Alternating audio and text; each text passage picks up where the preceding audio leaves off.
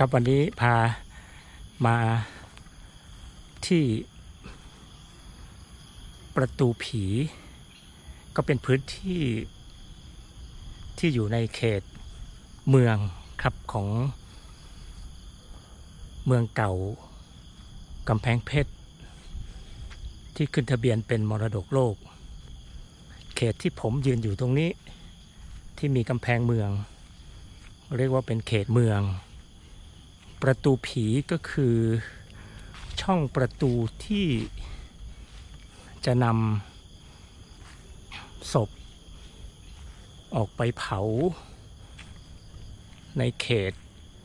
วัดป่า ครับนี่ครับ พอเราออกมาทางนี้ก็จะเป็น ออกนอกเขต เมืองครับ จะเห็นกำแพงเมืองเก่า มองย้อนกลับไปข้างใน เขตเมือง ประตูผีที่เรียกชื่อนี้ ก็เพราะว่าตรงนี้ประตูตรงนี้ครับจะนำศพออกไปเผาที่วัดเขตวัดป่า ซึ่งจะพา ทุกท่านได้ไปรู้จักเขตวัดป่าอีกครั้งหนึ่ง แต่วันนี้ขอให้ได้เห็นภาพเมืองเก่าๆนะครับ มีคูเมือง มีคูคูน้ำครับลักษณะเมืองเก่าๆจะเป็นแบบนี้เลยครับกำแพงเมืองที่ยังหลงเหลืออยู่ นี่คือมรดกโลกกำแพงเพชรครับ